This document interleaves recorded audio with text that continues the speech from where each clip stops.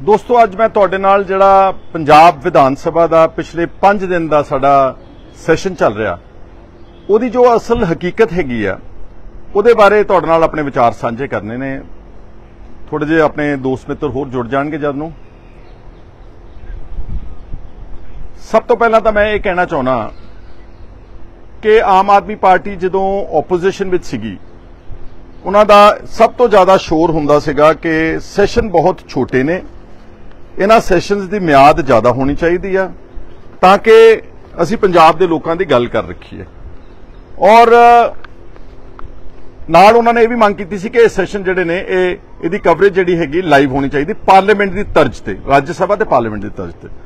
ਇਸ ਜਿਹੜੀਆਂ ਰਿਪਰੈਜ਼ੈਂਟੇਸ਼ਨਾਂ ਸਾਰੀਆਂ ਗਈਆਂ ਆਮ ਆਦਮੀ ਪਾਰਟੀ ਵੱਲੋਂ, ਉਹਦਾ ਮੈਂ ਆਰਟੀਆਈ ਚ ਸਪੀਕਰ ਸਾਹਿਬ ਤੋਂ, ਜਿਹੜਾ ਬਕਾਇਦਾ ਸਪੀਕਰ ਆਫਿਸ ਤੋਂ ਇਹਦਾ ਪੂਰਾ ਵੇਰਵਾ ਕਢਾਇਆ। ਕਾਫੀ ਰਿਪਰੈਜ਼ੈਂਟੇਸ਼ਨਸ ਨੇ, ਅਗਰ ਤੁਸੀਂ ਦੇਖੋਗੇ ਕਾਫੀ ਲੰਬੀ ਚੌੜੀ ਡਿਟੇਲ ਹੈਗੀ ਆ ਬਟ ਉਹਦੇ ਚੋਂ ਜਿਹੜੀ ਸੈਸ਼ਨ ਦੇ ਨਾਲ ਤੁਲਕ ਰੱਖਣ ਵਾਲੀ ਆਰਟੀਆਈ ਆ ਇਨਫੋਰਮੇਸ਼ਨ ਉਹ ਇਹ ਹੈਗੀ ਕਿ ਇਹਨਾਂ ਨੇ 4 ਐਮਐਲਏਜ਼ ਨੇ। ਸਪੀਕਰ ਪਿਛਲੀ ਵਾਰੀ ਕਾਂਗਰਸ ਦੇ ਸਪੀਕਰ ਨੂੰ 4 ਐਮਐਲਏਜ਼ ਨੇ ਲਿਖ ਕੇ ਇੱਕ ਰਿਪਰੈਜ਼ੈਂਟੇਸ਼ਨ ਦਿੱਤੀ। ਚਾਰ, ਜਿਹੜੇ 4 ਐਮਐਲਏਜ਼ ਆਮ ਆਦਮੀ ਸੀਗੇ, ਇਹਦੇ ਹਰਪਾਲ ਸਿੰਘ ਚੀਮਾ ਜਿਹੜੇ ਲੀਡਰ ਆਫ ਆਪੋਜੀਸ਼ਨ ਆਪੋਜੀਸ਼ਨ ਸੀਗੇ। ਕੁਲਤਾਰ ਸਿੰਘ ਸੰਧਵਾ ਜਿਹੜੇ ਹੁਣ ਸਪੀਕਰ ਨੇ। ਅਮਨ ਅਰੋੜਾ ਜਿਹੜਾ ਕਾਫੀ ਦੁਬਾਰਾ ਦੁਬਾਰਾ ਉੱਠ ਕੇ ਸ਼ੋਰ ਮਚਾਉਂਦਾ। ਜੈ ਕਿਸ਼ਨ ਰੋੜੀ ਜਿਹੜਾ ਐਮਐਲਏ ਹੈ, ਇਹਨਾਂ ਦਾ ਹੁਣ ਗੜਸ਼ੰਕਰ ਤੋਂ। ਇਹ ਤੁਸੀਂ ਦੇਖ ਸਕਦੇ ਇਹਨਾਂ ਦੇ ਸਿਗਨੇਚਰਸ ਨੇ ਆ ਚਾਰਾਂ ਦੇ। ਅਗਰ ਤੁਹਾਨੂੰ ਸ਼ਾਇਦ ਮੇਰਾ ਖਿਆਲ ਕਲੀਅਰਲੀ ਆਉਂਦੇ ਨੇ। ਔਰ ਨਾਲ ਨਾਲ ਇਹ ਰਿਪਰੈਜ਼ੈਂਟੇਸ਼ਨ ਦਾ ਸਬਜੈਕਟ ਵੀ ਤੁਹਾਨੂੰ ਦਿਖਾਉਣਾ ਆਨਰੇਬਲ ਸਪੀਕਰ ਦੇ ਨਾਮ ਤੇ ਹੈ। ਤਾਂ ਮੈਂ ਪੜ੍ਹ ਦਿੰਦਾ ਬਾਅਦ ਵਿੱਚ। ਸੋ ਰਿਪਰੈਜ਼ੈਂਟੇਸ਼ਨ ਕੀ ਆ? ਇਹ ਡੇਟਡ ਹੈਗੀ ਆ 15/3/2018 ਦੀ। Requesting for increasing the number of proposed sittings for this budget session ਇਹੀ ਜਿਹੜਾ ਬਜਟ ਸੈਸ਼ਨ ਸਾਡਾ ਹੁਣ ਚੱਲ ਰਿਹਾ to at least 20 so that discussions on critical issues of Punjab could be facilitated.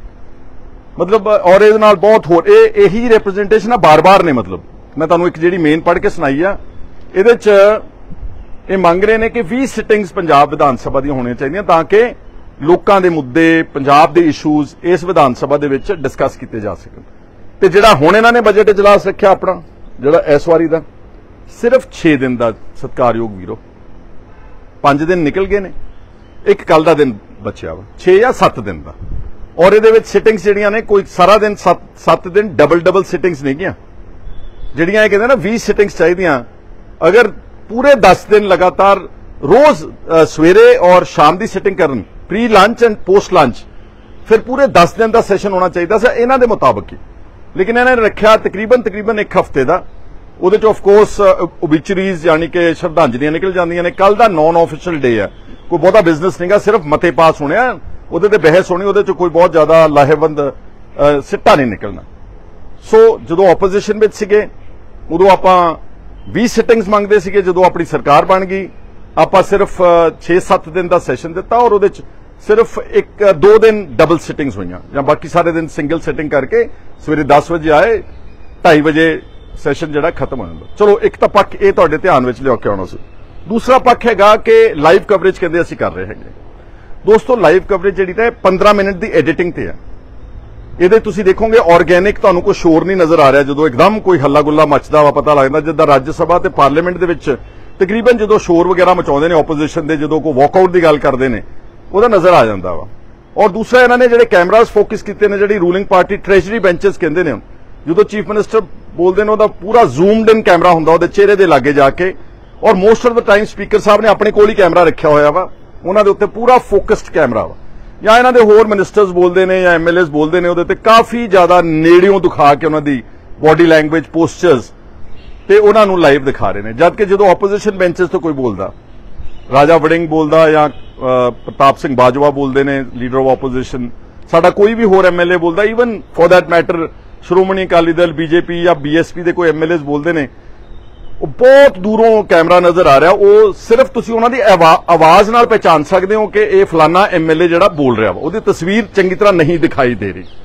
ਸੋ ਕਿਤੇ ਨਾ ਕਿਤੇ ਲਾਈਵ ਜਿਹੜਾ ਹੈ, ਇਹ ਪਾਰਟੀਸਨ ਹੈ। ਪੱਕਪਾਤੀ ਲਾਈਵ ਆ ਰਿਹਾ ਵਾ। ਔਰ ਉਹਦੇ ਚ ਐਡਿਟ ਕਰ ਦਿੰਦੇ, ਜਿਹੜੇ ਇਹਨਾਂ ਦੇ ਥੋੜੇ ਜੇ ਔਕਵਰਡ ਪੋਜੀਸ਼ਨਸ ਆਉਂਦੀਆਂ ਜਿੱਥੇ ਕੋਈ ਆਪੋਜੀਸ਼ਨ ਮੇਜਰ ਅੱਛੀ ਗੱਲ ਕਹਿੰਦੀ ਆ, ਉਹਨੂੰ ਉਹ ਐਡਿਟ ਵੀ ਕਰ ਦਿੰਦੇ ਨੇ। ਤਾਂ ਦੋਸਤੋ, ਇਸ ਤੋਂ ਇਲਾਵਾ ਮੈਂ ਕਹਿਣਾ ਚਾਹੁੰਦਾ ਕਿ ਖਾਸ ਤੌਰ ਤੇ ਮੇਰੇ ਫੋਕਸ ਤੇ ਟਾਰਗੇਟ ਕੀਤਾ ਗਿਆ। ਕਿਉਂਕਿ ਜਦ ਵੀ ਮੈਂ ਪੰਜਾਬ ਦੀ ਗੱਲ ਕਰਦਾ, ਉਹ ਇਹਨਾਂ ਨੂੰ ਚੁੱਭਦੀ ਆ। ਇਹਨਾਂ ਨੂੰ ਆਦਤ ਪਈ ਹੋਈ ਆ ਦਿੱਲੀ ਦੀ ਗੱਲ, ਦਿੱਲੀ ਦੀ ਗੱਲ, ਦਿੱਲੀ ਦੀ ਗੱਲ ਕਰਨ ਦੀ। ਤਾਂ ਮੈਂ ਗੱਲ ਕਰਨੀ ਹੁੰਦੀ ਆਪਣੀ ਸਟੇਟ ਦੀ।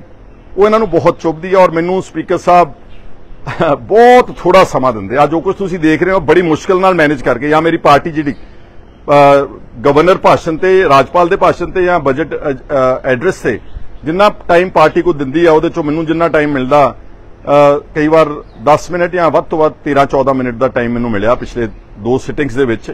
ਉਹਦੇ ਵਿੱਚ ਜਿਹੜੀ ਵੀ ਮੈਂ ਗੱਲ ਕਹਿ ਸਕਦਾ ਜਦੋਂ ਜ਼ੀਰੋ ਆਵਰ ਚ ਉੱਠਦੇ ਆ ਤਾਂ ਭਗਵੰਤ ਸਿੰਘ ਮਾਨ ਜਾਂ ਅਮਨ ਅਰੋੜਾ ਵਗੈਰਾ ਟਿਚਰਾਂ ਕਰਦੇ ਨੇ ਜੀ ਤੁਸੀਂ ਦੁਬਾਰਾ ਦੁਬਾਰਾ ਉੱਠਦੇ ਸਾਰਾ ਤੁਹਾਨੂੰ ਇੱਕ ਕੈਮਰਾ ਤੁਹਾਨੂੰ ਨਾ ਦੇ ਦਈਏ। ਦੇਖੋ ਗੱਲ ਇਹ ਆ ਕਿ ਮੈਂ ਕੋਈ ਅਸੀਂ ਇਹਨਾਂ ਦੀ ਕੋਈ ਮਿੰਤ ਕੱਢਣ ਵਾਸਤੇ ਟਾਈਮ ਨਹੀਂ ਮੰਗਦੇ। ਅਸੀਂ ਆਪਣੇ ਦਮ ਤੇ ਵਾਹਿਗੁਰੂ ਦੀ ਕਿਰਪਾ ਦੇ ਨਾਲ, ਲੋਕਾਂ ਦੇ ਸਹਿਯੋਗ ਦੇ ਨਾਲ ਅਸੀਂ ਚੁਣ ਕੇ ਬਰਾਬਰ ਆਏ ਜਿੱਦਾਂ ਦੇ ਇਹ ਐਮਐਲਏ ਚੁਣ ਕੇ ਆਏ ਨੇ, ਉਦਾਂ ਦੇ ਅਸੀਂ ਚੁਣ ਕੇ ਇੱਥੇ ਆਏ ਹਾਂ। ਔਰ ਇਹ ਜਿਹੜਾ ਅਮਨ ਅਰੋੜਾ ਖਾਸ ਤੌਰ ਤੇ ਉਧਰ ਟੀਚਰ ਕਰਦਾ ਸੀਗਾ, ਐਵੇਂ 3rd ਡਿਗਰੀ ਟੀਚਰ, ਕਿ ਜੀ ਤੁਸੀਂ ਉਧਰ ਦੇ ਉਧਰ ਹੀ ਰਹਿ ਗਏ। ਮੈਂ ਕਦੇ ਕਿਹਾ ਵਾ ਕਿ ਮੈਂ ਸਰਕਾਰ ਵਾਲੇ ਬੈਂਚਾਂ 'ਤੇ ਬਹਿਣਾ ਚਾਹੁੰਦਾ ਵਾਂ। ਮੈਂ ਜਿੱਥੇ ਹੈਗਾ, ਪਰਮਾਤਮਾ ਦੀ ਕਿਰਪਾ ਦੇ ਨਾਲ ਮੈਂ ਪੂਰਾ ਸੰਤੁਸ਼ਟ ਤੇ ਖੁਸ਼ ਹਾਂ। ਔਰ ਮੈਂ ਆਪਣਾ ਕੰਮ ਪੂਰੀ ਇਮਾਨਦਾਰੀ ਨਾਲ, ਤਨਦੇਹੀ ਨਾਲ ਔਰ ਨਿਡਰਤਾ ਦੇ ਨਾਲ ਕਰ ਰਿਹਾ ਵਾਂ। ਮੈਂ ਅਮਨ ਨੂੰ, ਅਰੋੜੇ ਨੂੰ ਉਦੋਂ ਪੁੱਛਿਆ ਕਿ ਤੂੰ ਕਦੀ ਯੁਆਪਾ ਦਾ ਕੇਸ ਉਠਾਇਆ ਵਾ? ਕਦੀ ਪੁਲਿਸ ਜ਼ਬਰ ਦੇ ਖਿਲਾਫ ਤੁਸੀਂ ਕਦੀ ਬੋਲੇ ਹੋ? ਜਿਹੜੇ ਸਿੱਖ ਨੌਜਵਾਨਾਂ ਦੀ ਨਸਲਕੁਸ਼ੀ ਹੁੰਦੀ ਆ, ਝੂਠੇ ਪੁਲਿਸ ਮੁਕਾਬਲਿਆਂ 'ਚ ਮਾਰੇ ਗਏ, ਕਦੀ ਉਹਨਾਂ ਦੇ ਖਿਲਾਫ ਬੋਲੇ ਹੋ? ਤੁਸੀਂ ਤਾਂ ਸੁਮੇਧ ਸਿੰਘ ਸੈਣੀ ਦੇ ਤਾਰੀਫ ਕਰਨ ਵਾਲੇ ਬੰਦਿਆਂ 'ਚੋਂ ਤੁਸੀਂ ਤਾਂ ਉਹਨਾਂ ਲੋਕਾਂ ਦੇ ਹਤੇਸ਼ੀ ਹੋ 24 ਘੰਟੇ ਅੱਤਵਾਦ ਅੱਤਵਾਦ ਦਾ ਨਾਮ ਜਪਦੇ ਹੋ। ਤੁਸੀਂ ਤਾਂ ਉਹਨਾਂ ਲੋਕਾਂ ਦੇ ਜਿਹੜੇ ਪੁਲਿਸ ਵਾਲਿਆਂ ਨੇ ਸਾਡੇ ਨੌਜਵਾਨਾਂ ਦੇ ਚੱਡੇ ਪਾੜੇ, ਉਹਨਾਂ ਨੂੰ ਝੂਠੇ ਪੁਲਿਸ ਮੁਕਾਬਲਿਆਂ ਦੇ ਵਿੱਚ ਮਾਰਿਆ। ਇਹ ਟਿਚਰਾਂ ਕਰਦੇ ਨੇ ਸਾਨੂੰ। ਔਰ ਮੈਂ ਪਿਛਲੇ ਦਿਨਾਂ ਦੇ ਵਿੱਚ ਮੂਸੇ ਵਾਲਿਆਂ ਦਾ ਜਿਹੜਾ ਗੀਤ ਬੈਨ ਕੀਤਾ ਗਿਆ ਮੈਂ ਉਸ ਦਾ ਮਸਲਾ ਉਠਾਇਆ ਸਤਲੁਜ ਜਮਨਾ ਲਿੰਕ ਤੇ ਜਿਹੜਾ ਐਸਵਾਈਐਲ ਤੇ ਉਸ ਨੂੰ ਜਿਹੜਾ ਅ, YouTube ਤੇ ਬੈਨ ਕੀਤਾ ਮੈਂ ਉਸ ਦਾ ਲੈ ਕੇ ਆਇਆ ਜ਼ੀਰੋ ਆਵਰ ਦੇ ਵਿੱਚ ਉਠਾ ਕੇ ਔਰ ਗਵਰਨਮੈਂਟ ਨੂੰ ਕਿਹਾ ਹੁਣ ਦੇਖਦੇ ਕੱਲ ਨੂੰ ਇਹ ਰੈਜ਼ੋਲੂਸ਼ਨ ਉਹਦੇ ਚ ਕਿਉਂਕਿ ਟਵਿੱਟਰ ਹੈਂਡਲ ਇੱਕ ਬੈਨ ਕੀਤੇ ਨੇ 100 ਦੇ ਕਰੀਬ ਇੰਡੀਆ ਚ ਜਿਹਦੇ ਚ ਟਰੈਕਟਰ ਟੂ ਟਵਿੱਟਰ ਦਾ ਵੀ ਤੇ ਕਿਸਾਨ ਏਕਤਾ ਮੋਰਚੇ ਦਾ ਟਵਿੱਟਰ ਤੇ ਪਲੱਸ YouTube ਤੇ ਬੈਨ ਹੋਣਾ ਤਿੰਨਾਂ ਗੱਲਾਂ ਦਾ ਜਿਹੜਾ ਸਾਡਾ ਫੰਡਾਮੈਂਟਲ ਰਾਈਟ ਨੂੰ ਕੁਚਲਿਆ ਜਾ ਰਿਹਾ ਬੀਜੇਪੀ ਵੱਲੋਂ।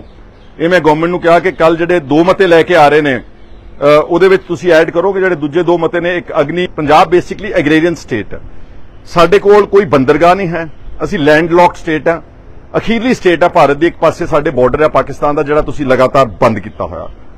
ਜਾਂ ਤਾਂ ਬਾਰਡਰ ਖੁੱਲਾ ਹੁੰਦਾ ਤੇ ਅਸੀਂ ਸਾਡਾ ਸੂਬਾ ਜਿਹੜਾ ਵਾ ਇੱਥੇ ਇੰਡਸਟਰੀਅਲਾਈਜ਼ ਵੀ ਕਰ ਸਕਦਾ ਸੀਗਾ। ਕਰ ਬਾਰਡਰ ਬੰਦ ਹੋਣ ਦੇ ਕਰਕੇ ਅਸੀਂ ਆਪਣੇ ਸੂਬੇ ਵਿੱਚ ਬਹੁਤੀ ਇੰਡਸਟਰੀ ਲਾ ਨਹੀਂ ਸਕਦੇ।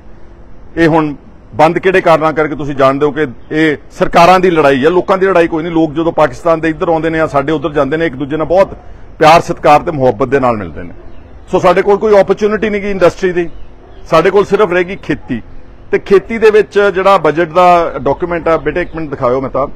ਬਜਟ ਡਾਕੂਮੈਂਟ ਵਿੱਚ ਸਤਕਾਰਯੋਗ ਪੰਜਾਬ ਦੇ ਲੋਕੋ ਇਸ ਡਾਕੂਮੈਂਟ ਵਿੱਚ ਬਜਟ 'ਚ ਜਿਹੜੀ ਜਿਹੜੀ ਐਲੋਕੇਸ਼ਨ ਐਗਰੀਕਲਚਰ ਦੀ, ਸਭ ਤੋਂ ਇੰਪੋਰਟੈਂਟ ਜਿਹੜਾ ਸਾਡਾ ਸਬਜੈਕਟ ਹੈ। ਸਾਡਾ ਇਸ ਵਾਰ ਬਜਟ ਜਿਹੜਾ ਸੀਗਾ 155000 ਕਰੋੜ ਦਾ ਵਾ। ਉਹ ਚੋਂ ਜਿਹੜੀ ਐਲੋਕੇਸ਼ਨ ਹੈਗੀ ਬਜਟ ਵਾਸਤੇ, ਉਹ ਮਹਿਜ਼ 11560 ਕਰੋੜ ਰੁਪਏ ਹੈ 11560 ਕਰੋੜ ਸੁਣਨ ਨੂੰ ਬਹੁਤ ਲੱਗਦੇ ਨੇ, ਪਰ ਇਹਦੇ ਵਿੱਚੋਂ 60% ਯਾਨੀ ਕਿ 7000 ਕਰੋੜ ਰੁਪਇਆ ਸਿਰਫ ਅਸੀਂ ਪੰਜਾਬ ਦੀ ਬਿਜਲੀ ਬੋਰਡ ਜਿਹੜਾ ਪੀਐਸਪੀਸੀਐਲ ਆ, ਉਹਨੂੰ ਅਸੀਂ ਜਿਹੜੀ ਮੁਫਤ ਬਿਜਲੀ ਜਾ ਰਹੀ ਆ ਟਿਊਬਵੈਲਸ ਨੂੰ, ਉਹਦੀ ਸਬਸਿਡੀ ਦੀ ਅਦਾਇਗੀ ਆ। ਬਚ ਗਿਆ ਪਿੱਛੇ ਸਾਡੇ ਕੋਲ 4500 ਕਰੋੜ ਰੁਪਇਆ ਪੰਜਾਬ ਦੇ ਖੇਤੀ ਦੇ ਸੁਧਾਰ ਦੇ ਵਾਸਤੇ। 1 ਲੱਖ ਕਰੋੜ ਦੇ ਕਰ- ਕਰਜ਼ਈ ਕਿਸਾਨ ਲਗਾਤਾਰ ਨਿਰੰਤਰ ਆਤਮ ਹੱਤਿਆਵਾਂ ਉਹਨਾਂ ਵਾਸਤੇ ਕੀ ਰੋਜ਼ੀ ਰੋਟੀ ਦਾ ਪ੍ਰਬੰਧ ਕਰਨਾ ਵਾ, ਜਿਹੜੇ ਲੋਕ ਮਾਰੇ ਜਾ ਚੁੱਕੇ ਨੇ। 2.5 ਲੱਖ ਦੇ ਕਰੀਬ ਛੋਟਾ ਕਿਸਾਨ ਖੇਤੀ ਛੱਡ ਕੇ ਜਾਂ ਤਾਂ ਜ਼ਮੀਨਾਂ ਵੇਚ ਕੇ ਵਿਦੇਸ਼ਾਂ ਨੂੰ ਭੱਜ ਗਿਆ ਜਾਂ ਇੱਥੇ ਲੇਬਰ ਕਰ ਰਿਹਾ ਵਾ। ਉਹ ਕਾਮੇ ਬਣ ਗਏ ਨੇ। ਉਹਨਾਂ ਵਾਸਤੇ ਸਾਡੇ ਕੋਲ ਕੀ ਕਰਨਾ ਵਾ? ਜਿਹੜੇ ਖਾਸ ਤੌਰ ਤੇ ਆਤਮ ਹੱਤਿਆ ਪੀੜਤ ਪਰਿਵਾਰ ਨੇ, ਕਿ ਉਹਨਾਂ ਦੇ ਰੋਜ਼ਗਾਰ ਦੇ ਸਾਧਨ ਅਸੀਂ ਪੈਦਾ ਕਰਕੇ ਦੇ ਸਕਦੇ ਹਾਂ ਉਹਨਾਂ ਨੂੰ? ਕਿਉਂਕਿ ਇਸੇ ਹੀ ਪੰਜਾਬ ਦੇ ਲੋਕਾਂ ਨੇ ਸਾਰੇ ਦੇਸ਼ ਦੇਸ਼ ਦੇ ਅਨਾਜ ਦਾ ਢਿੱਡ ਭਰਿਆ ਦੋਸਤੋ। ਇਹ ਸਾਰੇ ਮਸਲੇ। ਔਰ ਇੱਕ ਜਿਹੜਾ ਇਹਨਾਂ ਨੇ ਕਿਹਾ ਕਿ ਬੜਾ ਸ਼ੋਰ ਮਚਾਇਆ ਕਿ ਮੂੰਗ ਦੀ ਅਸੀਂ ਫਸਲ ਜਿਹੜੀ ਉਹਦੀ ਐਮਐਸਪੀ ਦੇ ਰਹੇ। ਬਹੁਤ ਚੰਗੀ ਗੱਲ ਕੀਤੀ ਹੈ ਸਾਨੂੰ ਡਾਈਵਰਸਿਫਿਕੇਸ਼ਨ ਕਰਨੀ ਚਾਹੀਦੀ। ਲੇਕਿਨ ਇਸ ਬਜਟ ਵਿੱਚ ਮੈਂ ਆਪਣੇ ਟਵਿੱਟਰ ਹੈਂਡਲ ਤੇ ਵੀ ਪਾਇਆ ਹੋਇਆ। ਇਸ ਬਜਟ ਵਿੱਚ ਮੂੰਗ ਦੀ ਦਾਲ ਦੀ ਐਮਐਸਪੀ ਦੇ ਵਾਸਤੇ ਕੇਵਲ 66 ਕਰੋੜ ਰੁਪਏ ਰੱਖਿਆ ਗਿਆ। ਔਰ ਜਿਹੜੇ ਖੇਤੀ ਦੇ ਮਾਹਰ ਨੇ ਔਰ ਬੀਕੇਯੂ ਦੇ ਜਿਹੜੇ ਲੀਡਰਸ ਨੇ, ਉਹਨਾਂ ਨੇ ਮੈਨੂੰ ਮੈਸੇਜ ਭੇਜੇ ਨੇ ਕਿ ਅਗਰ 7275 ਰੁਪਏ ਕੁਇੰਟਲ ਦਾ ਰੇਟ ਹੈ ਤੇ 66 ਕਰੋੜ ਰੁਪਏ ਨੂੰ ਖਰਚ ਕਰਨਾ ਹੋਵੇ ਤਾਂ ਸਿਰਫ 18000 ਏਕੜ ਮੂੰਗ ਬੀਜੀ ਜਾ ਸਕਦੀ ਹੈ। ਸਿਰਫ 18000 ਏਕੜ ਜਾਂ ਅ, ਕੋਈ 7300 ਹੈਕਟੇਅਰ ਇੱਕ ਹੈਕਟੇਅਰ ਵਿੱਚ 2.5 ਏਕੜ ਤੁਹਾਨੂੰ ਪਤਾ ਸਾਰੀ ਗੱਲ। ਇਹ ਇੰਨੀ 18000 ਏਕੜ ਤਾਂ ਦੋ ਮਾਲਵੇ ਦੇ ਵੱਡੇ ਪਿੰਡਾਂ ਦੀ ਜ਼ਮੀਨ ਆ ਸੋ ਦਿਸ ਅਗੇਨ ਬਿਕੇਮ ਅ ਜੋਕ ਇੱਕ ਮਜ਼ਾਕ ਬਣ ਕੇ ਰਹਿ ਗਿਆ ਕਿ ਠੀਕ ਹੈ ਤੁਸੀਂ ਦਿੱਤੀ ਐਫਰਟ ਵੀ ਕਰ ਰਹੇ ਮੈਂ ਤੁਹਾਡੀ ਗੱਲ ਇਸ ਨੂੰ ਵੀ ਸਮਝਦਾ ਹਾਂ ਔਰ ਦੂਸਰਾ ਇੱਕ ਮੈਂ ਮਸਲਾ ਉਠਾਇਆ ਜਿਹੜਾ ਬੜਾ ਇੰਪੋਰਟੈਂਟ ਸੀਗਾ ਕਿ ਤੁਸੀਂ ਲਗਭਗ 780 ਕਰੋੜ ਰੁਪਈਆ ਰਾਜਸਥਾਨ ਫੀਡਰ ਕਨਾਲ ਦੀ ਰਿਪੇਅਰ ਵਾਸਤੇ ਰੱਖਿਆ ਲਾਈਨਿੰਗ ਲਈ ਕੰਕਰੀਟ ਲਾਈਨਿੰਗ ਕਨਾਲ ਦੀ। ਪਾਣੀ ਕਿੱਥੇ ਜਾਣਾ? ਸਾਰਾ ਰਾਜਸਥਾਨ ਨੂੰ। ਸਤਕਾਰਯੋਗ ਵੀਰੋ ਆਫ ਕੋਰਸ ਥੋੜਾ ਪੈਸਾ ਸਰਹੰਦ ਫੀਡਰ ਵਾਸਤੇ, ਉਹ ਸਾਡੇ ਕੋਲ ਆਉਂਦਾ ਹੋਊਗਾ ਪਾਣੀ। ਲੇਕਿਨ ਜ਼ਿਆਦਾ ਜਿਹੜਾ ਪਾਣੀ ਆ, ਅਸੀਂ ਇਨਸ਼ੋਰ ਕਰ ਰਹੇ ਹਾਂ ਕਿ ਇੱਕ ਬੂੰਦ ਵੀ ਪਾਣੀ ਪੰਜਾਬ ਦੀ ਪੰਜਾਬ ਪਾਣੀ ਦੀ ਪੰਜਾਬ ਦੀ ਧਰਤੀ 'ਚ ਕਿਤੇ ਸੀਪੇਜ ਨਾ ਹੋ ਜਾਏ। ਅਸੀਂ ਉਹਨੂੰ ਕੰਕਰੀਟ ਲਾਈਨਿੰਗ ਕਰਕੇ ਰਾਜਸਥਾਨ ਦੀ ਨਹਿਰ ਨੂੰ ਪੂਰਾ ਬਣਿਆ ਬਣਾਇਆ ਭਾਖੜੇ ਦਾ ਪਾਣੀ ਜਿਹੜਾ ਉਹ ਰਾਜਸਥਾਨ ਨੂੰ ਦੇਣ ਜਾ ਰਹੇ ਹਾਂ। ਅਸੀਂ ਰਾਇਲਟੀ ਤਾਂ ਕੀ ਮੰਗਣੀ ਹੈ ਇਹਨਾਂ ਤੋਂ? ਅਸੀਂ 780 ਕਰੋੜ ਰੁਪਏ ਦਾ ਬਜਟ ਇਸੇ ਹੀ ਇਸ ਬਜਟ ਵਿੱਚ ਐਲੋਕੇਸ਼ਨ ਰੱਖੀ ਆ 780 ਕਰੋੜ ਰੁਪਏ ਦੀ ਉਹਦੇ ਵਾਸਤੇ। ਔਰ ਐਡੀ ਵੱਡੀ ਗਲਤੀ ਕਰਨ ਜਾ ਰਹੇ, ਸਾਰੀਆਂ ਕਨਾਲਸ ਨੂੰ, ਨਹਿਰਾਂ ਨੂੰ ਪੱਕਿਆਂ ਕਰਨ ਜਾ ਰਹੇ ਨੇ, ਜਦ ਕਿ ਇੱਕ ਕੁਦਰਤ ਦਾ ਨਿਯਮ ਹੈ ਕਿ ਜਦੋਂ ਤੁਸੀਂ ਕੱਚੀ ਨਹਿਰ ਰਹਿਣ ਦਿੰਦੇ ਆ, ਪਾਣੀ ਜ਼ਮੀਨ ਧਰਤੀ ਵਿੱਚ ਥੱਲੇ ਜਾਂਦਾ ਵਾ ਗਰਾਊਂਡ ਵਾਟਰ ਰੀਚਾਰਜ ਹੁੰਦਾ ਜਿਹੜਾ ਸਾਡਾ ਵਾਟਰ ਟੇਬਲ ਆ, ਜਿਹੜਾ ਉਹ ਪਾਣੀ ਦਾ ਜਿਹੜੀ ਸਤਹ ਹੈ ਜ਼ਮੀਨ ਦੇ ਥੱਲੇ ਉਹ ਉੱਪਰ ਆਉਂਦੀ ਹੈ। ਸਾਰਾ ਪੰਜਾਬ ਦਾ ਪਾਣੀ ਜਿਹੜਾ ਇਸ ਵਕਤ 12 13 ਲੱਖ ਟਿਊਬਵੈਲ ਦੇ ਨਾਲ ਅਸੀਂ ਪੰਪ ਆਊਟ ਕਰਕੇ ਉਹ ਪਾਣੀ ਜਿਹੜਾ ਸਾਡਾ ਹੈ ਉਹ ਬਿਲਕੁਲ ਉਹਦੀ ਮੁੱਕਦਾ ਜਾਂਦਾ ਧਰਤੀ ਦੇ ਥੱਲੜਾ ਪਾਣੀ ਤੇ ਅਸੀਂ ਨਹਿਰਾਂ ਦੀ ਵੀ ਕੰਕਰੀਟ ਲਾਈਨਿੰਗ ਕਰਕੇ ਨਾਲੇ ਪੈਸੇ ਖਰਚ ਰਹੇ ਨਾਲੇ ਰਾਜਸਥਾਨ ਨੂੰ ਪਾਣੀ ਪਹੁੰਚਾ ਰਹੇ ਹਾਂ, ਨਾਲੇ ਇੱਕ ਤੁਪਕਾ ਵੀ ਸਾਡਾ ਪੰਜਾਬ ਦੀ ਧਰਤੀ ਦੇ ਵਿੱਚ ਨਾ ਕਿਤੇ ਸੀਪੇਜ ਹੋ ਜਾਏ ਇਹ ਇਸ ਬਜਟ ਦੇ ਵਿੱਚ ਹੈ। ਅੰਤ ਵਿੱਚ ਦੋਸਤੋ ਮੈਂ ਤਾਂ ਸਿਰਫ ਇਹ ਕਹਿਣਾ ਚਾਹੁੰਦਾ ਕਿ ਇੱਕ ਇਹਨਾਂ ਦੇ ਕੋਲ ਰੱਟ ਹੈ। ਇੱਕ ਰੱਟ ਹੈ। ਕਿ ਜੀ 70 ਸਾਲ ਦੇ ਵਿੱਚ ਕੀ ਹੋਇਆ? 70 ਸਾਲ ਚ ਕੀ ਕੀਤਾ? ਪੈਸੇ ਖਾ ਗਏ 70 ਸਾਲ 70 ਅਸਲ 'ਚ ਈਡੀਐਮ ਜਿਹੜਾ ਸੀ, ਇਹ ਬੀਜੇਪੀ ਨੇ ਬਣਾਇਆ ਸੀਗਾ। ਕਿਉਂਕਿ ਬੀਜੇਪੀ ਦੀ ਬੀ ਟੀਮ ਹੈ। ਔਰ ਮੈਨੂੰ ਤਾਂ ਲੱਗਦਾ ਕਿ ਰਾਸ਼ਟਰਪਤੀ ਦੀ ਚੋਣ ਵਿੱਚ ਵੀ ਬੀਜੇਪੀ ਦੇ ਉਮੀਦਵਾਰ ਨੂੰ ਵੋਟਾਂ ਪਾਉਣਗੇ। ਹਲੇ ਬੋਲੇ ਨਹੀਂਗੇ ਹਲੇ ਤੱਕ ਹਲੇ ਤੱਕ ਨਹੀਂ ਬੋਲੇ। ਹੋ ਸਕਦਾ ਸਾਡੇ ਯਸ਼ਵੰਤ ਸਿਨਹਾ ਨੂੰ ਆਪੋਜੀਸ਼ਨ ਕੈਂਡੀਡੇਟ ਨੂੰ ਪਾ ਦੇਣ। ਇਹ ਬੀ ਟੀਮ ਨੇ ਬੀਜੇਪੀ ਦੀ। ਇਹਨਾਂ ਦਾ ਬੁਲਡੋਜ਼ਰ ਪੋਲਿਟਿਕਸ ਦੇ ਉੱਤੇ ਅਰਵਿੰਦ ਕੇਜਰੀਵਾਲ ਦਾ ਕਦੀ ਕੋਈ ਬਿਆਨ ਨਹੀਂ ਆਇਆ। ਅੱਜ ਵੀ ਉਹ ਜਿਹੜੇ ਅਰੈਸਟ ਕੀਤਾ ਗਿਆ ਇੱਕ ਜਰਨਲਿਸਟ ਨੂੰ, ਉਹਦੇ ਤੇ ਕੋਈ ਟਿੱਪਣੀ ਨਹੀਂ ਕੀਤੀ ਇਸਨੇ ਔਰ ਕਦੀ ਵੀ ਜਿੱਥੇ ਮਾਈਨੋਰਿਟੀਜ਼ ਦੇ ਹਕੂਕ ਕੁਚਲੇ ਗਏ ਨੇ, ਜੰਮੂ ਕਸ਼ਮੀਰ ਦੇ ਤਿੰਨ ਟੋਟੇ ਕੀਤੇ ਗਏ, ਕਹਿੰਦਾ ਸੀ ਦਿੱਲੀ ਸਾਨੂੰ ਇੱਕ ਪੂਰਾ ਸਟੇਟ ਚਾਹੀਦਾ, ਜਿਹੜੇ ਸਟੇਟ ਤਿੰਨ ਟੋਟੇ ਕੀਤੇ ਇਹਨੇ ਮੋਦੀ ਨੂੰ ਵਧਾਈ ਵੀ ਦਿੱਤੀ ਤੇ ਮੋਦੀ ਨੂੰ ਵੋਟ ਵੀ ਪਾਈ ਦੋਸਤੋ। ਸੀਡਬਲਏ ਦੇ ਉੱਤੇ ਵੋਟਾਂ ਪਾਈਆਂ ਇਹਨਾਂ ਨੇ ਬੀਜੇਪੀ ਨੂੰ ਔਰ ਮੈਂ ਕਹਿਣਾ ਚਾਹੁੰਦਾ ਕਿ ਰੋਜ਼ ਕਹਿੰਦੇ ਨੇ 70 ਸਾਲ, ਜਿਹੜਾ ਬੀਜੇਪੀ ਦਾ ਇਡੀਅਮ ਸੀਗਾ। ਮੈਂ ਤੁਹਾਨੂੰ ਪੁੱਛਣਾ ਚਾਹੁੰਦਾ ਤੁਸੀਂ ਸਤਿਕਾਰਯੋਗ ਸਾਰੇ ਪੰਜਾਬ 'ਚ ਹੀ ਰਹਿੰਦੇ, ਠੀਕ ਹੈ, ਸਾਡੇ 'ਚ ਬਹੁਤ ਸਾਰੀਆਂ ਉਨਤਾਈਆਂ, ਕਿਉਂਕਿ ਗਰੀਬ ਦੇਸ਼ ਹੈ। ਸਾਡੇ ਤੇ ਕਰਜ਼ਾ ਵਾ, ਅਸੀਂ ਸਾਡੇ ਕੋਲ ਉਹ ਸਾਧਨ ਨਹੀਂ ਜਿਹੜੇ ਵੈਸਟਰਨ ਵਰਲਡ ਦੇ ਵਿੱਚ ਨਾ। ਪਰ ਕੀ 70 ਸਾਲਾਂ ਵਿੱਚ ਪੰਜਾਬ ਵਿੱਚ ਕੁਝ ਵੀ ਨਹੀਂ ਹੋਇਆ? ਮੈਨੂੰ ਅੱਛੀ ਤਰ੍ਹਾਂ ਯਾਦ ਆ, ਸਰਦਾਰ ਪ੍ਰਤਾਪ ਸਿੰਘ ਕੈਰੋਂ ਦੇ ਬਾਰੇ ਪੜ੍ਹ ਲਓ ਤੁਸੀਂ। ਸਭ ਤੋਂ ਜਿਹੜੀਆਂ ਦੋ ਤਿੰਨ ਗੱਲਾਂ ਗਿਣਾ ਦਿੰਦਾ, ਇਹਨਾਂ ਦੇ ਮੂੰਹ ਤੇ ਚਪੇੜ ਵੱਜ ਜੂਗੀ। ਭਾਖੜਾ ਡੈਮ ਕਿਹਨੇ ਬਣਾਇਆ ਜੀ, ਦੱਸੋ ਜਰਾ? ਕੇਜਰੀਵਾਲ ਨੇ ਬਣਾਇਆ ਵਾ ਕੱਲ ਪਰਸੋਂ ਬਣਾਇਆ ਵਾ। ਭਾਖੜਾ ਡੈਮ ਬਣਾਇਆ, ਪ੍ਰਤਾਪ ਸਿੰਘ ਕੈਰੋਂ ਨੇ ਤੇ ਪੰਜਾਬ ਦੀ ਸਰਕਾਰ ਨੇ। ਇੱਥੇ ਹੀ ਬਸ ਨਹੀਂ, ਫਰੀਦਾਬਾਦ ਸ਼ਹਿਰ ਜਿਹੜਾ ਬਣਾਇਆ, ਚੰਡੀਗੜ੍ਹ ਸ਼ਹਿਰ ਜਿਹੜਾ ਬਣਾਇਆ, ਫਰੀਦਾਬਾਦ ਦਿੱਲੀ ਦੇ ਲਾਗੇ ਜਿਹੜਾ, ਕੇਜਰੀਵਾਲ ਸਾਹਿਬ ਦੇ ਨਾਲ ਲੱਗਦਾ ਨੈਸ਼ਨਲ ਕੈਪੀਟਲ ਰੀਜਨ ਚ ਐਨਸੀਆਰ ਚ।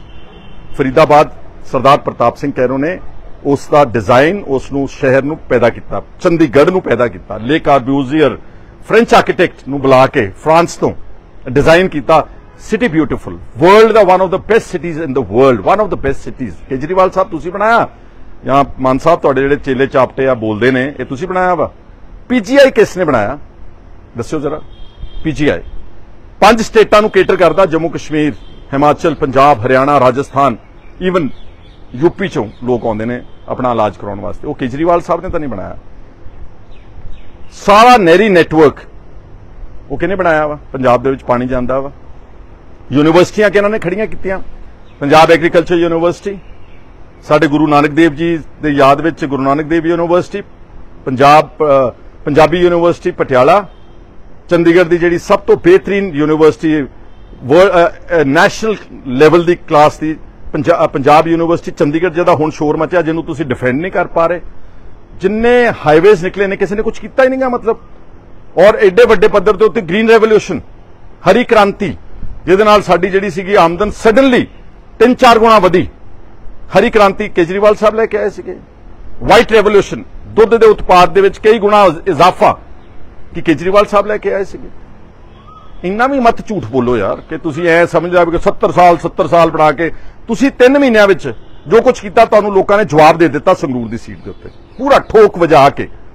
ਇੱਕ ਨਿਡਰ ਤੇ ਇੱਕ ਨਿਰਪੱਖ ਤੇ ਇੱਕ ਪੁਰਾਣਾ ਪੰਜਾਬ ਹਤੈਸ਼ੀ ਸਿਮਰਨਜੀਤ ਸਿੰਘ ਮਾਨ ਨੂੰ ਲੋਕਾਂ ਨੇ ਜਤਾਇਆ ਵਾ। ਔਰ ਮੈਂ ਉਦੋਂ ਵੀ ਕਿਹਾ ਤੇ ਅੱਜ ਫਿਰ ਕਹਿਣਾ ਵਾ, ਕਕਾਰ ਹੈ, ਇੱਕ ਸਾਡਾ ਚਿੰਨ੍ਹ ਹੈ ਪੰਜਾਬ ਦੇ ਲੋਕਾਂ ਦਾ। ਇਹ ਸਾਡੇ ਵਾਸਤੇ ਅਣਖ ਦਾ ਚਿੰਨ੍ਹ ਹੈ। ਤੇ ਬੋਕਰ ਨੂੰ ਬੋਕਰ ਨੂੰ ਲੋਕਾਂ ਨੇ ਲਤਾੜ ਦਿੱਤਾ ਰਿਜੈਕਟ ਕੀਤਾ ਜਿਹੜਾ ਖੋਤੀ ਝਾੜੂ ਆ। ਲੋਕਾਂ ਨੇ ਕਿਰਪਾਨ ਨੂੰ ਚੁਣਿਆ ਮੇਰੇ ਵੀਰੋ। ਹੋ ਸਕਦਾ ਕਾਂਗਰਸ ਦਾ ਇਹਦੇ ਵਿੱਚ ਨੁਕਸਾਨ ਹੋਇਆ ਕੋਈ ਗੱਲ ਨਹੀਂ ਗੀ। ਚੱਲਦਾ ਰਹਿੰਦਾ ਜ਼ਿੰਦਗੀ ਦੇ ਵਿੱਚ। ਲੇਕਿਨ ਬੋਕਰ ਨੂੰ ਬੋਕਰ ਨੂੰ ਲੋਕਾਂ ਨੇ ਨਕਾਰ ਕੇ ਉਹ ਪਰੇ ਕਰ ਦਿੱਤਾ 3 ਮਹੀਨਿਆਂ 'ਚ? ਔਰ ਇਹ ਕੱਲ ਵਾਈਟ ਪੇਪਰ ਜਾਰੀ ਕੀਤਾ ਬਜਟ ਤੇ ਗੱਲਾਂ ਕਰਦੇ ਨੇ। 9000 ਕਰੋੜ ਦਾ ਕਰਜ਼ਾ ਚਾੜਿਆ ਇਹਨਾਂ ਨੇ 3 ਮਹੀਨਿਆਂ 'ਚ ਮੇਰੇ ਵੀਰੋ, ਸਤਿਕਾਰਯੋਗ ਭੈਣੋ ਤੇ ਭਰਾਓ। 9000 ਕਰੋੜ ਰੁਪਏ ਦਾ 3 ਮਹੀਨਿਆਂ 'ਚ। ਅਗਰ ਇਸ ਸਪੀਡ ਦੇ ਨਾਲ ਕਰਜ਼ਾ ਚੱਕਣਗੇ। ਤੇ ਇਹ 50 ਸਾਲਾਂ 'ਚ ਪੌਣੇ 2 ਲੱਖ ਕਰੋੜ ਦਾ ਕਰਜ਼ੇ ਦਾ ਇਜ਼ਾਫਾ ਕਰਕੇ ਜਾਣਗੇ। ਪੌਣੇ 2 ਲੱਖ ਕਰੋੜ ਰੁਪਏ ਦਾ ਕਰਜ਼ਾ। ਮਤਲਬ ਸਾਡੇ ਤੇ ਪੌਣੇ 3 ਲੱਖ ਕਰੋੜ ਦਾ ਕਰਜ਼ਾ ਚੜਿਆ 35 ਸਾਲਾਂ 'ਚ। ਅਗਰ ਆਪਾਂ 80 ਤੋਂ ਗਿਣੀਏ, ਤਾਂ ਫਿਰ 42 ਸਾਲ। ਕਿਉਂਕਿ 1980 ਵਿੱਚ 1 ਲੱਖ 1000 ਕਰੋੜ ਰੁਪਏ ਦਾ ਕਰਜ਼ਾ ਸੀਗਾ। 1980 'ਚ। 40 ਸਾਲਾਂ 'ਚ 40 ਸਾਲਾਂ 'ਚ ਸਾਡੇ ਤੇ ਪੌਣੇ 3 ਲੱਖ ਕਰੋੜ ਦਾ ਕਰਜ਼ਾ ਚੜਿਆ। 3 ਮਹੀਨਿਆਂ 'ਚ ਆਪਾਂ 9000 ਕਰੋੜ ਚੱਕ ਲਿਆ ਵਾ ਤੇ ਇਸੇ ਸਪੀਡ ਨਾਲ ਚੱਲੇ ਤੇ ਆਪਾਂ ਪੌਣੇ 2 ਲੱਖ ਕਰੋੜ ਰੁਪਏ 5 ਸਾਲਾਂ 'ਚ ਐਡ ਕਰਕੇ ਜਾਵਾਂਗੇ। ਪਰ ਕਹਿੰਦੇ ਅਸੀਂ ਬਦਲਾਵ ਦੀ ਰਾਜਨੀਤੀ ਕਰ ਰਹੇ ਹਾਂ। ਦੋਸਤੋ, ਅਸਲੀਅਤ ਇਹ ਹੈਗੀ ਆ। ਔਰ ਇਹਨਾਂ ਨੇ ਮੈਂ ਹੈਰਾਨ ਹੋ ਗਿਆ। ਪੇਪਰਲੈਸ ਬਜਟ ਪੇਸ਼ ਕੀਤਾ। ਸਾਰੀਆਂ ਗੱਲਾਂ ਤੁਹਾਡੇ ਨਾਲ ਤਾਂ ਕਰਾਂ ਕਿ ਤੁਹਾਨੂੰ ਬਾਹਰ ਨਹੀਂ ਗੱਲਾਂ ਆ ਰਹੀਆਂ, ਨਾ ਸਾਨੂੰ ਅੰਦਰ ਬੋਲਣ ਦਾ ਮੌਕਾ ਦਿੰਦੇ ਨੇ, ਬਿਠਾ ਦਿੰਦੇ ਨੇ ਧੱਕੇ ਨਾਲ। 92 ਆਦਮੀ ਨੇ ਸ਼ੋਰ ਪਾਉਂਦੇ ਨੇ। ਸ਼ੋਰ ਮਚਾਉਂਦੇ ਨੇ, ਬੋਲਣਾ ਤਾਂ ਕਿਸੇ ਨੂੰ ਘੱਟ ਆਉਂਦਾ। ਹੋਏ ਹੋਏ ਕਰਨੀ ਜ਼ਿਆਦਾ ਆਉਂਦੀ, ਸ਼ੋਰ ਮਚਾ ਕੇ, ਰੌਲਾ ਰੱਪਾ ਪਾ ਕੇ ਆਪਣੇ ਵਿਰੋਧੀਆਂ ਨੂੰ ਬਿਠਾਉਣ ਦਾ ਉਪਰਾਲਾ ਕਰਦੇ ਨੇ। ਕਹਿੰਦੇ ਜੀ ਪੇਪਰਲੈਸ ਬਜਟ ਪਾਸ ਕੀਤਾ ਸੀ 21 ਲੱਖ ਰੁਪਏ ਸੇਵ ਕੀਤਾ। 21 ਲੱਖ ਰੁਪਏ ਬਚਾਇਆ ਪੇਪਰਲੈਸ ਬਜਟ ਦਾ, ਤੇ ਪਰਲੇ ਪਾਸੇ ਅਗਲੇ ਦਿਨ ਪੂਰੇ ਪੂਰੇ ਸਫੇ ਦੇ ਵੱਡੇ ਇਸ਼ਤਿਹਾਰ ਦੇ ਕੇ 42 ਲੱਖ ਤੇ 70 ਹਜ਼ਾਰ ਰੁਪਏ ਖਰਚਾ ਪਬਲਿਸਿਟੀ ਦੇ ਉੱਤੇ। ਇਹ ਇਹ ਮੂਰਖਾਂ ਦਾ ਕੰਮ ਨਹੀਂ ਤੇ ਹੋਰ ਕੀ ਹੈ ਜੀ? 21 ਲੱਖ ਬਚਾਇਆ ਪੇਪਰਲੈਸ ਬਜਟ ਤੇ 42 ਲੱਖ ਰੁਪਏ ਉਹਦੀ ਪਬਲਿਸਿਟੀ ਤੇ ਔਰ ਮੇਰੇ ਕੋਲ ਆਰਟੀਆਈ ਇਨਫੋਰਮੇਸ਼ਨ ਮੈਂ ਛੇਤੀ ਤੁਹਾਡੇ ਨਾਲ ਇੱਕ ਅੱਧੇ ਦਿਨ ਸ਼ੇਅਰ ਕਰੂੰਗਾ ਲਗਭਗ 50 ਕਰੋੜ ਰੁਪਇਆ ਪਿਛਲੇ 3 ਮਹੀਨਿਆਂ 'ਚ ਪਬਲਿਸਿਟੀ ਤੇ ਖਰਚਾ ਕੀਤਾ ਬਾਹਰਲੇ ਸੂਬਿਆਂ 'ਚ ਰਾਜਸਥਾਨ ਮਹਾਰਾਸ਼ਟਰ ਗੁਜਰਾਤ ਮੱਧ ਪ੍ਰਦੇਸ਼ ਹਿਮਾਚਲ 'ਚ ਜਿੱਥੇ ਇਹਨਾਂ ਨੇ ਜਾ ਕੇ ਇਲੈਕਸ਼ਨਾਂ ਲੜਨੀਆਂ ਨੇ ਪੈਸਾ ਸਾਡਾ ਹੈਲੀਕਾਪਟਰ ਸਾਡਾ ਤੇ ਮਸ਼ਹੂਰੀ ਕੇਜਰੀਵਾਲ ਦੀ ਇੱਥੇ ਬਸ ਨਹੀਂ ਇਹਨਾਂ ਨੇ ਡਾਇਰੈਕਟਰ ਪਬਲਿਕ ਰਿਲੇਸ਼ਨ ਡਿਪਾਰਟਮੈਂਟ ਵਿੱਚ ਸਾਰੇ ਆਮ ਆਦਮੀ ਪਾਰਟੀ ਦੀ ਸੋਸ਼ਲ ਮੀਡੀਆ ਦੀ ਟੀਮ ਜਿਹੜੀ ਗੈਰ ਪੰਜਾਬੀ ਨੇ ਇਦਾਂ ਹੀ ਚੱਕ ਕੇ ਲਿਆ ਕੇ ਲੱਖ ਲੱਖ ਰੁਪਏ 75 75 ਹਜ਼ਾਰ ਤਨਖਾਹ ਤੇ director public relation department Chandigarh ਦੇ ਦਫ਼ਤਰ ਵਿੱਚ ਭਰਤੀ ਕਰ ਦਿੱਤੇ ਨੇ। ਪੈਸਾ ਸਾਡਾ 100 ਬੰਦਾ। ਮੈਂ ਜਿਹੜੇ ਝਾੜੂ ਬਰਦਾਰ ਥੱਲੇ ਪਿੰਡਾਂ 'ਚ ਪੁੱਛਦੇ ਨੇ, ਤੁਹਾਨੂੰ ਕਿਸੇ ਨੂੰ ਬੁਲਾਇਆ ਇਹਨਾਂ ਨੇ? ਤੁਸੀਂ ਸਾਰਾ ਸੋਸ਼ਲ ਮੀਡੀਆ ਆਪਰੇਟ ਕਰਨਾ ਜਾਣਦੇ, ਤੁਹਾਨੂੰ ਕਿਹੜੀ ਗੱਲ ਨਹੀਂ ਪਤਾ? ਕਿਸੇ ਵਰਕਰ ਨੂੰ ਲਿਆ ਕੇ ਬੁਲਾ ਕੇ ਪੁੱਛ ਕੇ ਦੱਸਿਆ ਕਿ ਤੁਹਾਨੂੰ ਅਸੀਂ 100 ਬੰਦੇ ਦੀ ਭਰਤੀ ਕਰਨ ਲੱਗੇ ਆ ਤੁਹਾਨੂੰ ਰੱਖ ਲੈਨੇ ਅਸੀਂ। ਜਿਹੜੇ ਸਾਡੇ ਲਈ ਤੁਸੀਂ ਮਰਦੇ ਫਿਰਦੇ ਹੋ ਗਾਲਾਂ ਖਾਂਦੇ ਹੋ, ਗਾਲਾਂ ਕੱਢਦੇ ਹੋ ਸਾਡ- ਅਸੀਂ ਤੁਹਾਨੂੰ ਰੱਖਦੇ ਹਾਂ, ਲੇਕਿਨ ਲਿਆ ਕੇ ਗੈਰ ਪੰਜਾਬੀ ਉੱਥੇ ਸਾਡੇ ਸਿਰ ਤੇ ਡਾਇਰੈਕਟ ਔਰ ਔਰ ਆਰਟੀਆਈ ਨਹੀਂ ਦੇ ਰਹੇ ਸਾਨੂੰ। ਅਸੀਂ ਆਰਟੀਆਈ ਮੰਗ ਰਹੇ, ਉਹਦੀ ਲਿਸਟ ਨਹੀਂ ਦੇ ਰਹੇ, ਕਿਉਂਕਿ ਸਾਰੇ ਗੈਰ ਪੰਜਾਬੀ ਉੱਥੇ ਲਿਆ ਕੇ ਬਿਠਾ ਦਿੱਤੇ। ਕਿੰਨੀਆਂ ਹੋਰ ਗੱਲਾਂ ਨੇ ਸਤਿਕਾਰਯੋਗ ਵੀਰੋ, ਭੈਣੋ, ਬਜ਼ੁਰਗੋ, ਰਾਜ ਸਭਾ ਦੇ ਮੈਂਬਰ ਬਣਾਏ। ਕਿੱਥੇ ਆ ਰਾਘਵ ਚੱਡਾ? ਇਹਨਾਂ ਦਾ ਵਿਜੇਂਦਰ ਗੁਪਤਾ ਸੌਰੀ ਸੁਸ਼ੀਲ ਗੁਪਤਾ, ਮੈਂ ਫਿਰ ਗਲਤ ਕਹਿ ਚੱਲਿਆ ਸੁਸ਼ੀਲ ਗੁਪਤਾ, ਰਾਜ ਸਭਾ ਦਾ ਮੈਂਬਰ ਜਿਹੜਾ ਮੂਸੇਵਾਲਾ ਨੇ ਗੀਤ ਗਾਇਆ, ਉਹਦੇ ਓਪਨਿੰਗ ਲਾਈਨਾਂ ਵਿੱਚ ਉਹਦਾ ਜ਼ਿਕਰ ਹੈ ਕਿ ਉਹ ਕਹਿੰਦਾ ਕਿ ਮੈਂ 2025 ਸਾਡੀ ਸਰਕਾਰ ਬਣੇਗੀ ਅਸੀਂ ਸਤਲੁਜ ਯਮਨਾ ਲਿੰਕ ਦਾ ਐਸਵਾਈਐਲ ਦਾ ਪਾਣੀ ਹਰਿਆਣੇ ਦੇ ਕੋਨੇ-ਕੋਨੇ ਦੇ ਵਿੱਚ ਪਹੁੰਚਾਵਾਂਗੇ। ਇੱਕ ਸ਼ਬਦ ਨਹੀਂ ਬੋਲਿਆ ਕੇਜਰੀਵਾਲ, ਇੱਕ ਸ਼ਬਦ ਨਹੀਂ ਬੋਲਿਆ ਭਗਵੰਤ ਮਾਨ। ਸਤਕਾਰਯੋਗ ਵੀਰੋ ਤੇ ਭੈਣੋ, ਰਾਜ ਸਭਾ ਦੇ ਸਾਰੀਆਂ ਸੀਟਾਂ ਵੇਚੀਆਂ ਨੇ, ਟਿਕਾ ਕੇ, ਗੈਰ ਪੰਜਾਬੀਆਂ ਨੂੰ ਦਿੱਤੀਆਂ ਨੇ। ਔਰ ਇਹ ਬੰਦੇ ਕਦੀ ਪੰਜਾਬ ਦੇ ਹਿੱਤ ਵਿੱਚ ਨਹੀਂ ਬੋਲਣਗੇ, ਸਿਰਫ ਪੈਸੇ ਕਮਾਉਣ ਆਏ ਨੇ। 497 ਕਰੋੜ ਰੁਪਏ ਫ੍ਰੀ ਆਟੇ ਦਾ ਦੇ ਦਿੱਤਾ ਜੀ ਬਜਟ 'ਚ। ਮੰਗਿਆ ਹੀ ਨਹੀਂ ਕਿਸੇ ਨੇ। ਲੋਕ ਨੌਕਰੀਆਂ ਮੰਗ ਰਹੇ ਨੇ, ਲੋਕ ਗੰਨੇ ਦੀ ਅਦਾਇਗੀ ਮੰਗ ਰਹੇ ਨੇ, ਕਿਸਾਨ, ਉਹ ਨਹੀਂ ਦਿੱਤਾ। 497 ਕਰੋੜ ਰੁਪਏ ਆਖੇ ਆਟਾ ਦੇਵਾਂਗੇ, ਤੁਹਾਨੂੰ ਪਿੰਡਾਂ ਦੇ ਵਿੱਚ ਘਰੇ ਮੁਫਤ ਪਹੁੰਚਾਵਾਂਗੇ ਕਿਉਂ? ਉਹਦੇ ਠੱਗੀ ਵੱਜਣੀ ਆ। ਕਣਕ ਰੱਖਦੇ ਸੀ ਲੋਕੀ, ਜਿੰਨੀ ਲੋੜ ਸੀ ਪਸਾਉਂਦੇ ਸੀ, ਜਿੰਨਾ ਆਟਾ ਸੀ, ਲੋੜ ਪੈਂਦੀ ਸੀ ਪਸਾ ਕੇ ਖਾਂਦੇ ਸੀਗੇ। ਇਹਨਾਂ ਨੇ ਕਿਹਾ, ਅਸੀਂ ਕਣਕ ਕੈਨਸਲ ਘਰਾਂ ਦੇ ਵਿੱਚ ਆਟਾ ਪਹੁੰਚਦਾ ਕਰਾਂ। ਸਾਰੀ ਸੁਸਰੀ, ਸਾਰਾ ਸਕੈਂਡਲਸ ਪ੍ਰੋਗਰਾਮ ਬਣਾ ਕੇ ਉਹਦੇ ਚ ਉਹਨੂੰ ਅਨਹਾਈਜੀਨਿਕ ਤਰੀਕੇ ਨਾਲ ਲੋਕਾਂ ਨੂੰ ਇਹ ਆਟਾ ਜਿਹੜਾ ਉੱਥੇ ਲੋਕਾਂ 'ਚ ਪਹੁੰਚਾਉਣਗੇ ਬਹੁਤ ਸਾਰੀਆਂ ਹੋਰ ਗੱਲਾਂ ਨੇ। ਇਹ ਤਾਂ ਤੁਹਾਡੇ ਨਾਲ ਸਾਂਝੀਆਂ ਕੀਤੀਆਂ ਅੱਜ। ਉੱਥੇ ਤਾਂ ਸਹੀ ਮੈਨੇ ਸਾਨੂੰ ਬੋਲਣ ਨਹੀਂ ਦਿੰਦੇ ਸਹੀ। ਐਕਚੁਅਲੀ ਮੈਂ ਗਲਤ ਨਹੀਂ ਕਿਹਾ ਕਦੀ। ਔਰ ਮੈਨੂੰ ਵਿਸ਼ੇਸ਼ ਤੌਰ ਤੇ ਰਾਜੇ ਵੜਿੰਗ ਨੂੰ ਲੀਡਰ ਆਫ ਆਪੋਜੀਸ਼ਨ ਨੂੰ, ਇਹਨਾਂ ਸਾਰਿਆਂ ਨੂੰ ਲੋਕਾਂ ਨੂੰ ਉੱਥੇ ਟਾਰਗੇਟ ਕੀਤਾ ਜਾਂਦਾ। ਔਰ ਜਦੋਂ ਮੂਮੈਂਟ ਦ ਮੂਮੈਂਟ ਅਸੀਂ, ਜਦੋਂ ਸਪੀਕਰ ਕਹਿੰਦਾ ਕਿ ਅਸੀਂ ਤੁਹਾਡਾ ਟਾਈਮ ਖਤਮ ਜਾਂ ਤੁਹਾਨੂੰ ਬੋਲਣ ਨਹੀਂ ਦੇਣਾ, ਤੁਹਾਡਾ ਮਾਈਕ ਨਹੀਂ ਔਨ ਕਰਦੇ, ਤੁਸੀਂ ਜਿੰਨਾ ਮਰਜ਼ੀ ਸ਼ੋਰ ਮਚਾਈ ਜਾਓ, ਬਾਹਰ ਲੋਕਾਂ ਨੂੰ ਪਤਾ ਨਹੀਂ ਲੱਗਣਾ। ਇਸ ਤਰ੍ਹਾਂ ਦੀ ਲਾਈਵ ਕਵਰੇਜ ਐਡੀਟਿੰਗ ਕੀਤੀ ਇਹਨਾਂ ਨੇ ਕਿ ਅਸੀਂ ਜਦੋਂ ਸਾਡਾ ਮਾਈਕ ਨਹੀਂ ਚੱਲ ਰਿਹਾ, ਤੁਹਾਨੂੰ ਕੁਝ ਨਹੀਂ ਪਤਾ। ਜਦੋਂ ਸਾਡੇ ਤੇ ਕੈਮਰਾ ਨਹੀਂਗਾ, ਤੁਹਾਨੂੰ ਕੁਝ ਨਹੀਂ ਪਤਾ। ਇਸ ਨੂੰ ਕਹਿੰਦੇ ਨੇ ਪੱਖਪਾਤੀ ਲਾਈਵ ਕਵਰੇਜ ਜਿਹੜੀ ਇਹ ਕਰ ਰਹੇ ਨੇ। 15 ਮਿੰਟ ਦਾ ਇਹਨਾਂ ਦੇ ਕੋਲ ਸਲੋਟ ਹੁੰਦਾ, ਉਹਦੇ ਵਿੱਚ ਜਿਹੜੀ ਚੀਜ਼ ਐਡਿਟ ਕਰਨੀ ਹੈ। ਔਰ ਸਾਡੇ ਕੈਮਰੇ ਜਿੱਦਾਂ ਸ਼ੁਰੂ ਚ ਕਿਹਾ ਕਿ ਬੜੇ ਦੂਰ ਰੱਖੇ ਹੋਏ ਨੇ ਜਿੱਦਾਂ। ਸਿਰਫ ਆਵਾਜ਼ ਨਾ ਪਛਾਣਨ ਦਾ ਤੁਹਾਡਾ ਕਾਫੀ ਟਾਈਮ ਲਿਆ। ਅੱਜ ਵੀ ਸਾਡਾ ਸੈਸ਼ਨ ਹੈ ਬਾਅਦ ਦੁਪਹਿਰ ਔਰ ਇੱਕ ਲਾਸਟ ਨਾਨ ਆਫੀਸ਼ੀਅਲ ਡੇ ਜਿਹੜਾ ਵੀਰਵਾਰ ਦਾ ਰਹਿ ਜਾਏਗਾ। ਤੇ ਉਸ ਤੋਂ ਬਾਅਦ ਅਗਰ ਲੋੜ ਪਈ ਤਾਂ ਫਿਰ ਆਪਾਂ ਤੁਹਾਡੇ ਨਾਲ ਵਿਚਾਰ ਵਟਾਂਦਰਾ ਕਰਾਂਗੇ। ਤੁਹਾਡਾ ਸਾਰਿਆਂ ਦਾ ਮੇਰੇ ਨਾਲ ਜੁੜਨ ਵਾਸਤੇ ਬਹੁਤ ਬਹੁਤ ਸ਼ੁਕਰੀਆ। ਧੰਨਵਾਦ ਜੀ। Thank you